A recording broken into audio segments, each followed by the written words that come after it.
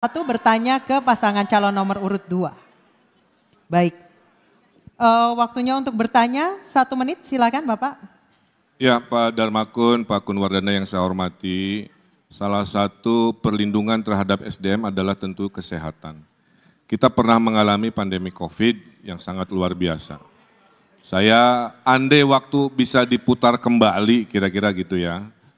Kira-kira apa yang bisa kita lakukan untuk lebih baik dalam menyelesaikan yang namanya pandemi yang nauzubillah jangan sampai terulang lagi. Tapi andai kita ber, apa waktu bisa berulang kembali seperti itu, kira-kira respon negara itu harus seperti apa dalam melindungi SDM? Karena banyak sekali korban dari yang namanya pandemi. Terima kasih itu aja. Masih ada sisa waktu? Cukup. Cukup, baik. Dan kami persilakan kepada paslon nomor urut 2 untuk menjawab pertanyaan dari calon gubernur nomor urut 1. Kami persilahkan, waktunya dua menit. Persoalan pandemi adalah persoalan isu kesehatan. Kita harus belajar melihat bukan yang tertulis tetapi yang tersirat. Saya punya pengalaman selama ini baik pengalaman pendidikan biasa melihat selalu waspada dan melihat yang tersirat. Jadi kita harus waspada dari setiap isu yang ada. Apakah itu memang genuine atau merupakan infiltrasi asing untuk mengambil kedaulatan bangsa lewat isu kesehatan.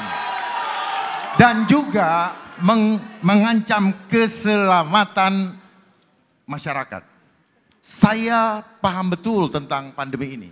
Pandemi ini adalah agenda terselubung dari asing untuk mengambil alih kedaulatan negara.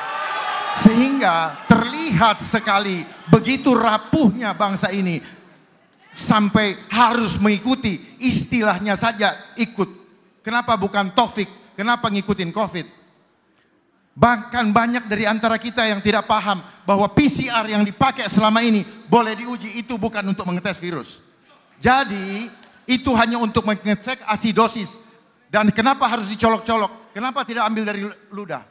Kalau memang mau ngetes virus. Oleh sebab itu seorang pemimpin masyarakat terutama otonomi daerah DKI harus memperjuangkan segala sesuatu untuk melindungi warganya. Jangan sampai gara-gara pandemi ekonomi hancur, dibiasakan online, UMKM hancur, dan kemudian rakyat ditakut-takuti. Bagaimana akan menuju ke kota global yang sejati kalau hati rakyatnya disakitin, pikirannya dirusak, dan badannya diracunin.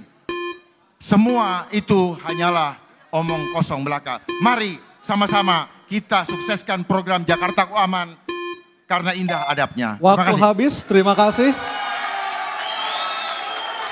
Mohon tenang hadirin. Kami persilakan calon gubernur dan atau calon wakil gubernur nomor urut satu untuk menanggapi Bapak Ridwan Kamil atau Bapak Suswono. Kami persilakan waktunya satu menit. Ya, itulah pentingnya koordinasi antara pemerintah pusat dengan pemerintah provinsi atau kota kabupaten. Terjadi perbedaan pendapat itu biasa ya. Kita perdebatkan di ruang-ruang yang sifatnya politik, ruang-ruang yang sifatnya bisa menginfokan bahwa ada perspektif lain mungkin dalam menyelesaikan sebuah permasalahan sekelas seepik yang namanya pandemi. Tapi ujung-ujungnya pemimpin kalau sudah mengambil keputusan di level pusat, maka yang namanya gubernur harus taat. Maka yang namanya bupati wali kota harus taat karena dalam pengelolaan krisis memang harus satu komando.